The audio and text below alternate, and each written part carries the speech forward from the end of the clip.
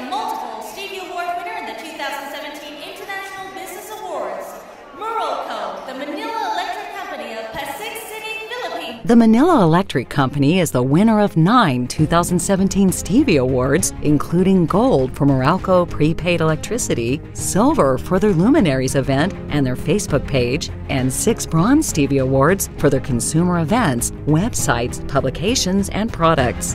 Meralco is the largest electric distribution utility in the Philippines, accounting for more than 50% of the country's energy output. I represent more than 5,000 employees of Meralco here in the Philippines, accepting these nine awards. Not many power companies swear by customer centricity, and we are proud to be recognized by the Stevies for this award. And most of all, all glory to God. Thank you so much.